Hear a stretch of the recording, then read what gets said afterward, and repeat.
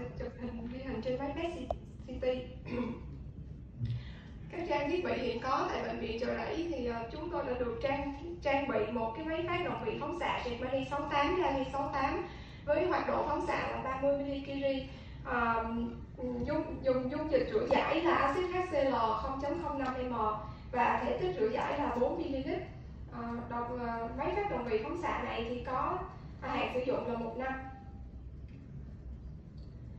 đây là sơ đồ phân rã của Germany 68 đầu tiên đồng vị mẹ của Germany 68 có thời gian bán rã là 270 ngày. Sẽ phân rã ra đồng vị con là Gali 68 có thời gian bán rã là 67 68 phút. Và à, đồng vị này sẽ phân rã ra đồng vị bền kẽm 68 cùng với phát ra tia beta cộng. Thì à, tại nhìn bạn có thể thấy được là ngày đầu tiên mà đo được hoạt độ phóng xạ của Germany 68 là 30 mCi thì sau khoảng một năm tức là 350 ngày thì hoạt độ phóng xạ còn lại của Germany là khoảng 12 mCi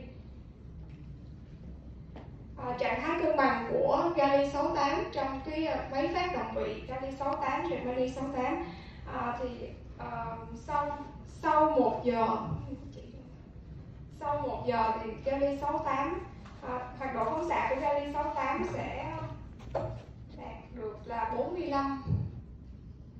45 phần trăm so với hoạt độ ban đầu của Germany 68 à, sau khoảng 4 tiếng thì hoạt độ à, Gali 68 sẽ đạt được khoảng 90 phần trăm so với hoạt độ ban đầu là Germany 68 và sau khoảng 10 đến 12 giờ thì à, hoạt độ sẽ đạt được 100 phần trăm. Điều này có thể nói được là à, mình có thể pha chế trong một ngày có thể pha chế được nhiều cái mẻ thuốc à, tiếp theo chúng tôi sẽ được trang bị một cái mô đun tổng hợp thuốc phóng xạ Gali 68 DSMA thì cái mô đun này có cái ưu điểm là nhỏ gọn cái kích thước là 40 cm x 40 cm à, à, mô đun này có thể tự che chắn mà không cần hot cell và thời gian pha chế thuốc nó khoảng 30 phút. Và sử dụng những cái cassette à, gắn một lần. À, hiệu suất pha chế của cái mô đun này là lớn hơn khoảng 80% mô đun này sẽ được chúng tôi đặt ở trong một cái tủ an toàn sinh học, được để che chắn, chì để đảm bảo về an toàn bức xạ.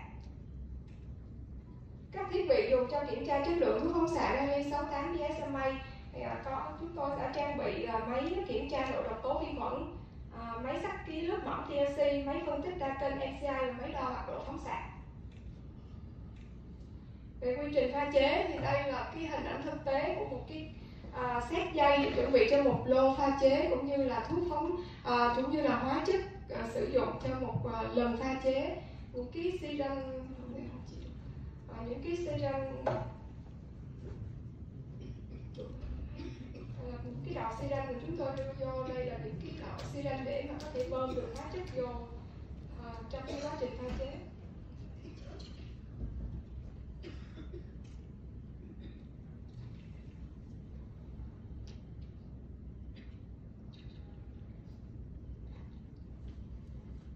các thuốc pha chế thuốc phóng xạ kali 68 DSMA à, đầu tiên là cột C18 sẽ được hoạt hóa à, hoạt hóa bằng dung dịch ethanol. À, sau đó thì à, sẽ à, bơm 20 micro 20 microgram active DSMA cùng với 1 ml à, natri acetat vào bình phản ứng.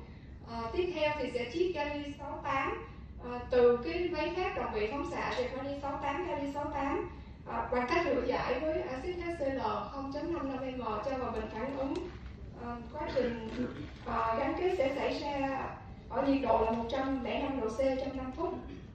Và sau 5 phút thì chúng tôi sẽ à, rửa cái cặp chiếc C18 bằng dung dịch nước muối hay là CL cho vào bình thải. Tiếp tục thì rửa giải cái sản phẩm trên cột C18 bằng cái dung dịch rửa giải là 1 ml ethanol 60% và rửa lại bằng dung dịch à, à, dung dịch nước muối 0,9% cho vào lọ sản phẩm. Và bước cuối cùng là chúng tôi sẽ lấy à, một phần một ml sản phẩm để làm kiểm tra chất lượng. À, về phần kiểm tra chất lượng thì chúng tôi đã thực hiện 6 cái chỉ tiêu chất lượng như sau. Đầu tiên là về cảm quan và pH sẽ sử dụng là giấy thử pH. Thứ hai là nhận diện đồng vị phóng xạ Gali 68 thì ờ, chúng tôi sẽ